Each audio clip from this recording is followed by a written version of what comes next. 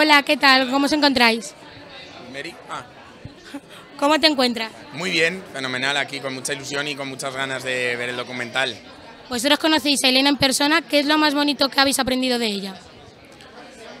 Pues yo de Elena eh, aprendí a vivir con ilusión. O sea, yo me acuerdo muchas veces que coincidía con ella en un montón de eventos y, y ya igual estábamos como cansados de ahora salir de casa otra vez, irte, prepararte y siempre estaba ahí con sus ganas, su ilusión, se ponía guapa, se ponía su pañuelo con tanto arte y, y ahí a disfrutar como la que más. Así que yo creo que el vivir con, con una ilusión de forma constante. ¿Ha sido difícil grabar el documental?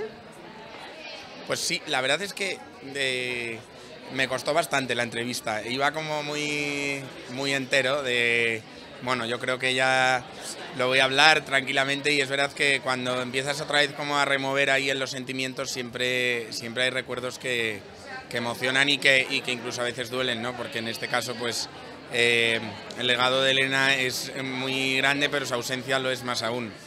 ¿Crees que con este documental va a concienciar a las personas y van a poder ayudar más en investigaciones contra enfermedades?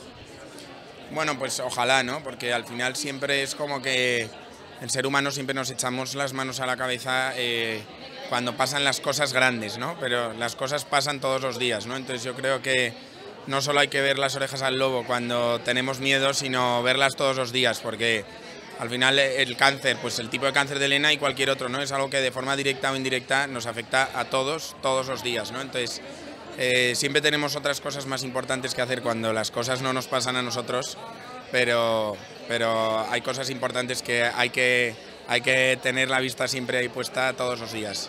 ¿Qué le dirías a todas aquellas personas que están pasando por enfermedades y no le ven el final? ¿A la enfermedad o le ven el final?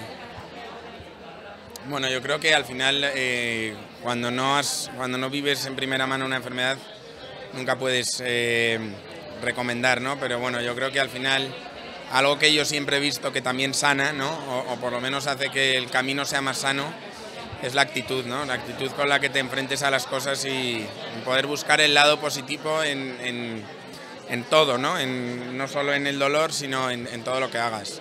Vale, muchas gracias. Gracias, hasta luego chicas.